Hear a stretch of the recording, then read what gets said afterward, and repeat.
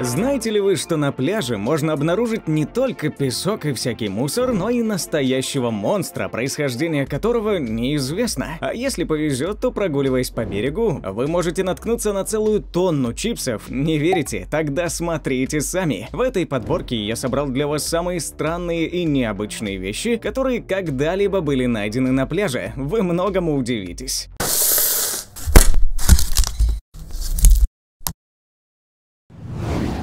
darytas. В 2006 году серьезный шторм у берегов Северной Каролины чуть не перевернул грузовой танкер. К счастью, экипаж отделался легким испугом, однако совсем избежать проблем не получилось. В океан смыло один из контейнеров. Как стало ясно позже, он был набит чипсами Doritos. Тысячи пачек оказались в воде в радиусе нескольких сотен метров, и на следующий день их прибило к берегу на один из местных пляжей. Представьте, как удивились и одновременно обрадовались люди, люди, обнаружив на пляже столько чипсов. СМИ начали говорить о том, что никакого смыва контейнера в воду не было, и что на самом деле разбросанные на пляже пачки есть не что иное, как рекламная акция, но эта версия была опровергнута. Местные жители отнеслись к такой необычной аварии достаточно ответственно. Они не стали тут же набрасываться на чипсы и расхватывать все пакеты, которые видели в своем поле зрения. Понимая, что пляжу был нанесен достаточно серьезный экологический ущерб, они они помогли работникам прибраться на берегу. Десятки людей прочесали пляж, собрали съедобный мусор, а в качестве награды получили бесплатную закуску.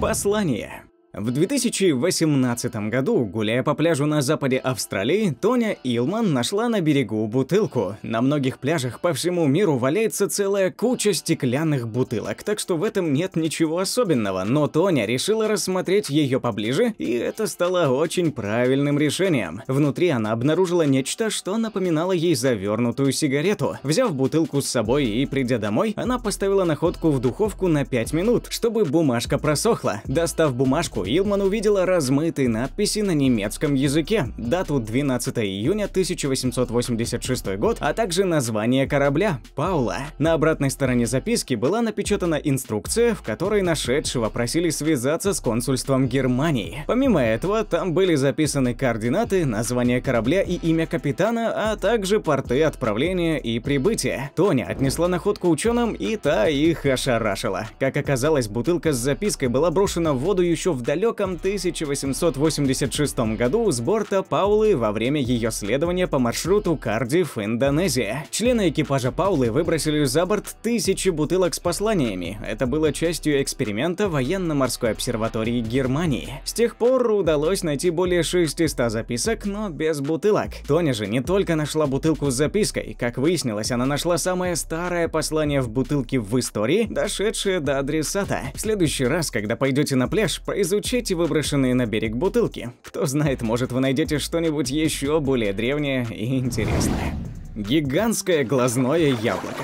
Порой на пляжах можно наткнуться не только на вкусности и древние послания, но и на настоящую жуть. В 2012 году местный житель Флориды Джино Кавачи совершал пробежку по пляжу Пампана-Бич и наткнулся на берегу на огромное глазное яблоко размером с грейпфрут. Джино заметил глаз на полосе прилива и сначала просто пнул его ногой, но приглядевшись, понял, что этого не стоило делать, ведь не каждый день натыкаешься на такую находку. По словам Джина, это было самое самое большое глазное яблоко из всех, что он когда-либо видел. Он отнес его домой, положил в холодильник и связался с полицией. В итоге к Джина приехали члены комиссии сохранения рыбы и дикой природы, которые забрали глаз и отвезли его в научно-исследовательский институт. Как оказалось, находкой был глаз крупного меченоса. Вообще, во Флориде периодически обнаруживаются глазные яблоки крупных морских обитателей, ведь воды этого американского штата изобилуют всеми возможными большими рыбами, рыбами, но находка Джина поразила даже многих опытных исследователей. Гигантское глазное яблоко – находка интересная, необычная и в то же время жуткая. Но куда более жутко обнаружить на пляже какое-нибудь неведомое создание, наподобие такого. Пока я составлял этот выпуск, то наткнулся на эту картинку. Как вы думаете, действительно ли на одном из азиатских пляжей была обнаружена такая русалка? Или это фейк? Напишите свои мысли в комментариях, но хочу предупредить. Не будьте предвзяты. На пляжах иногда действительно обнаруживаются очень странные странные создания, над которыми ученые ломают головы. Смотрите дальше, и совсем скоро вы увидите одно из таких загадочных созданий, а также узнаете тайну странных блоков, которые находят на многих пляжах Европы, и увидите буй, который оказался совсем не буем. Монтекский монстр. В 2008 году на пляже в деловом районе Монтак, что в Нью-Йорке, было обнаружено загадочное существо. К берегу прибило бездыханное создание очень странного вида, которое в народе окрестили монтакским монстром. В сети тут же начали появляться фото загадочного существа, а пользователи стали выдвигать свои версии насчет того, кем оно могло быть. Многие юзеры написали, что монтакским монстром создание окрестили не зря, потому что оно не похоже ни на одно животное в мире и вполне может быть неведомым науке существом.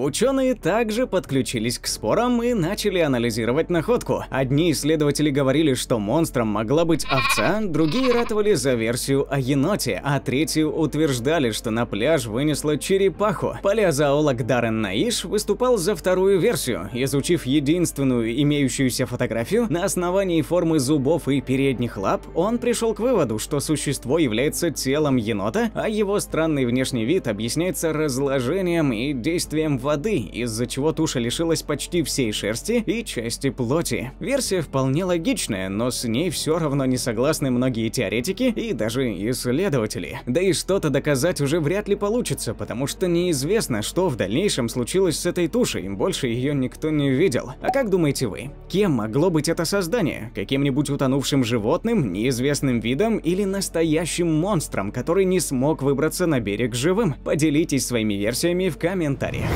Таинственные блоки. Начиная с 2012 года, жители Великобритании стали находить на разных пляжах страны загадочные квадратные резиновые блоки с выбитым на них странным словом «джипитир». Как позже выяснилось, такие же блоки появились не только на берегах Великобритании, но и на пляжах Испании, Франции, Нидерландов, Германии, Норвегии, Швеции и Дании. Что это за блоки и почему их находят именно на пляжах? Долгое время ответа на этот вопрос не было, и, возможно, он не появился бы, если бы не упорство Трейси Трейси Уильямс. В 2012 году она заметила мистический квадрат неподалеку от своего дома и решила докопаться до истины. Женщина изучала историю кораблекрушений и предположила, что блоки могли находиться на Титанике. Легендарный лайнер действительно перевозил тюки с резиной, но этого факта было мало. Помощь пришла со стороны. Несколько людей связались с Трейси и рассказали о спасательной компании, вывозившей груз с японского лайнера Миядзяки Мару. Он затонул в Атлантическом океане океане еще во время Первой мировой войны и вез блоки с каучуковой плантации под названием Джипитир в Индонезии. Пробыв под водой около 100 лет, блоки ничуть не испортились, а со временем некоторых из них начало вымывать на разные пляжи Европы. Молодец, Трейси. Лего. Представьте, вы приходите на пляж, раскладываете вещи, озираетесь и видите, что неподалеку от вас на берегу лежит гигантская фигурка лего-человечка. Согласитесь, находка очень странная. Как тут мог оказаться этот пластмассовый человечек? Любопытно, что таким вопросом задаются многие люди, которые то и дело обнаруживают эту фигурку на разных пляжах по всему миру. На самом деле это не какой-нибудь мусор, который прибило к берегу, а своеобразный маркетинговый ход. Гигантский лего-человек человек – это так называемый Эго Леонард. Его рост составляет 2,5 метра, и его находят в разных местах, от Японии и США до Великобритании и Нидерландов. На фигурке имеется надпись «Я такой же ненастоящий, как ты». На самом деле Эго Леонард – это псевдоним современного голландского скульптора, в честь которого и была названа фигурка. Сама же фигурка является маркетинговым трюком, который подогревает интерес к выставкам скульптора. Интересный пиар-ход, правда? Бомба. Находиться в воде достаточно опасно, ведь даже в том случае, если ты отлично плаваешь, что-то всегда может пойти не так. Но пляж-то безопасен, верно? Ну что может произойти на берегу моря? Утонуть там невозможно, акулы и ядовитые рыбы не нападут, так в чем же опасность? А в том, что на некоторых пляжах лежат самые настоящие бомбы. В это трудно поверить, но так оно и есть. Несколько лет назад женщина по имени Келли отдыхала со своими детьми на пляже, когда волной на берег вынесла странный предмет, покрытый ракушками. Келли подумала, что это лишь обычный старый буй, который не представляет никакой опасности, поэтому разрешила своим детям поиграть с ним. Малышня играла с ракушками, рассматривая их, и активно трогала загадочный предмет. Лишь через несколько дней Келли узнала, что это был никакой не буй, а самая настоящая бомба времен Второй мировой войны. Она много лет лежала на дне океана, пока ее не вымыло на берег. К счастью, ни Келли с детьми, ни другие отдыхающие не пострадали. Саперы увезли бомбу с пляжа и уничтожили ее контролируемым взрывом. Труба.